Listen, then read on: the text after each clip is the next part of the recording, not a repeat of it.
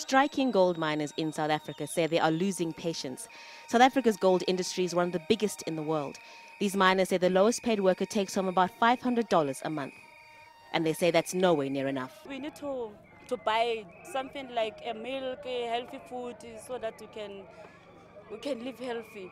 But in the little of money, we can't afford this. Working on 12 hours underground mine is too bad. This 5.5% that they are giving us is like the insult to us because we are working very hard underground.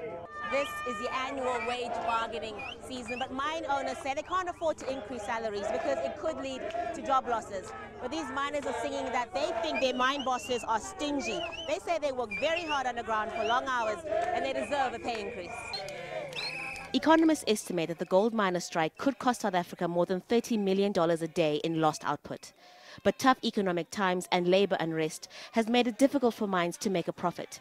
Production costs have also increased as miners have to dig deeper to extract the gold. The social ramification of the strike is uh, the fact that it will definitely, in the end, result in some uh, job losses because one of the first casualties when a strike happens usually is the workers.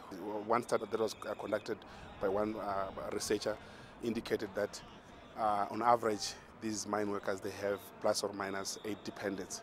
So they definitely this will have uh, dire uh, Uh, uh, impact on the on the, the, National Union of Mine Workers says around 80,000 of its members have stopped working, and strikes in vehicle manufacturing and the construction industry are already hitting South Africa's vulnerable economy.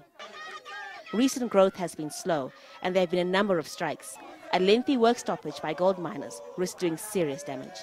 Haru Mutasa, Al Jazeera, Westonaria.